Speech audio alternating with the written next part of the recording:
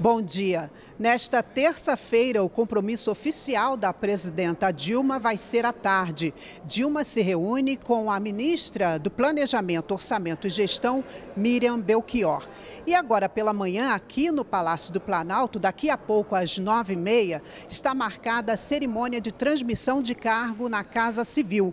Gleisi Hoffmann transmite o cargo para Aloysio Mercadante, que deixou o Ministério da Educação para chefiar a Casa Civil.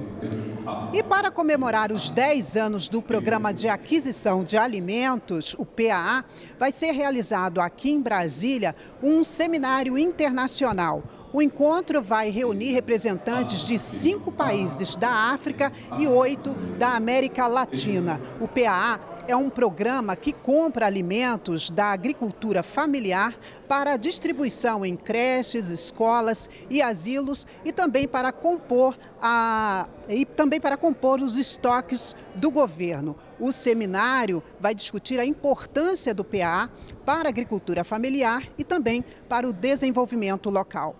Mara Kenup, direto do Planalto.